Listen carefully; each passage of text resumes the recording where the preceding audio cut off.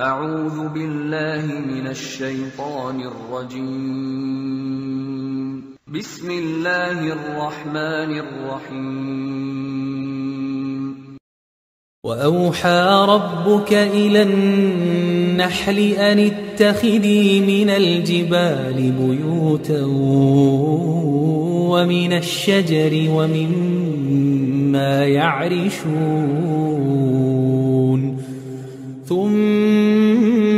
ثم كلي من كل الثمرات فاسلكي سبل ربك ذللا.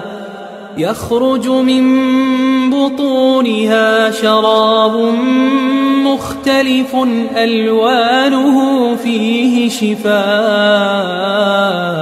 للناس.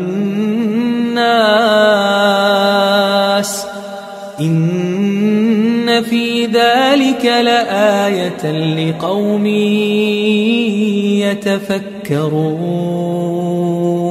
يتفكرون